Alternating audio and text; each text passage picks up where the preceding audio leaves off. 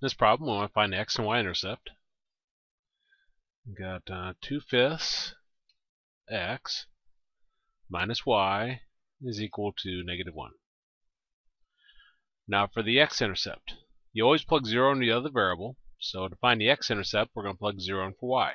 So we've got 2 fifths x minus 0 is equal to negative 1, which gives us 2 fifths x equals negative 1. Now we're solving a linear equation. First step, of parentheses, don't have any.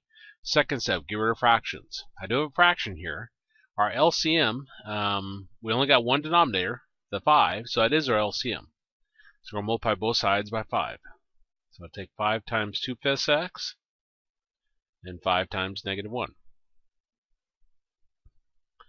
Those 5's cancel. And we got 2x is equal to negative 5. And then our last step is to divide both sides by number in front of our x. Well, number in front of our x is a 2, so divide both sides by 2. And we get x is equal to negative 5 halves. You can write your answer that way, or if you want to write it in point form, it'd be negative 5 halves, comma 0. Now for our y-intercept. Again, you always plug 0 into the other variable. So um, we'll plug 0 in for x. So I got 2 fifths times 0 minus y is equal to negative 1. 2 fifths times 0 drops away. We got negative y is equal negative 1.